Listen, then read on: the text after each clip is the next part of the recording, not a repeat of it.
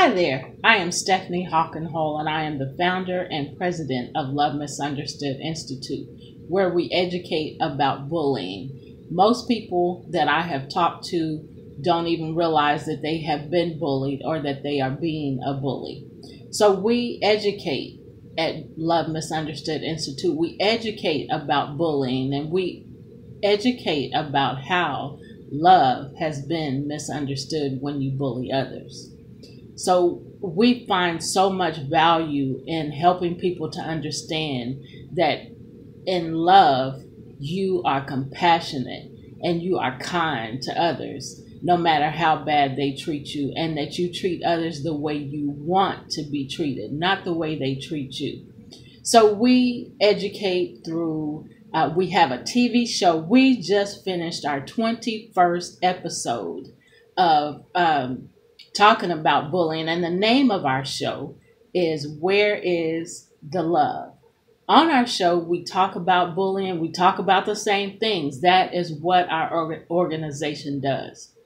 So we have discussions about bullying, and we got stuck on narcissism for uh, over a month, close to two months, and we're not finished. We share a lot of information about bullying and the different types of bullying, and we uh, endeavor to help you to understand what's happening to you. Many children at the ages of five and six are committing suicide due to being bullying, due to being bullied and not understanding how to how to handle it how to deal with it. And so we have these tough conversations. Uh, we just finished doing an online virtual class about toddler bullying. Yes, toddlers bully too. When they're biting and kicking and hitting and taking toys from each other, they are physically bullying. And there are a few other types of bullying that toddlers do, but they do it unknowingly. And so we have to educate and we have to teach them what they're doing so that they don't continue that behavior and grow up to be bullies and continue bullying. Bullies, there's no age range, there's no certain types of um, relationships that uh, bullies are in. It's all types of relationships. So these are the things that we cover. Uh, I have written a self published book about workplace bullying. I also did a self published a workbook about bullying, bullying in general.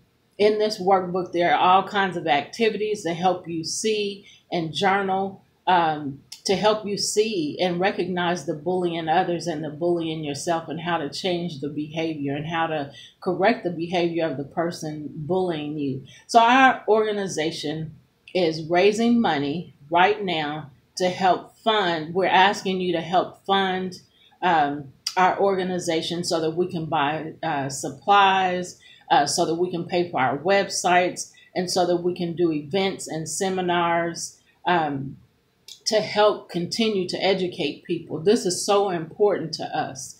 Uh, and the reason it's so important to us is because we were bullied. My son and I were bullied. And so we are the ones that do the TV show. I am the host of the TV show, and he is the co host.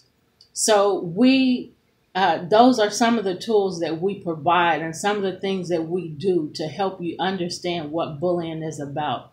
So this is October 2022 and October is Bully Prevention Month. And so we are doing a fundraiser. We're asking you, again, we're asking you to help us uh, by donating. We're asking you to help us raise funds so that we can continue to pay for our website, so that we can continue to do the things that we're doing to uh, pay for our tools and our supplies to get this information to you.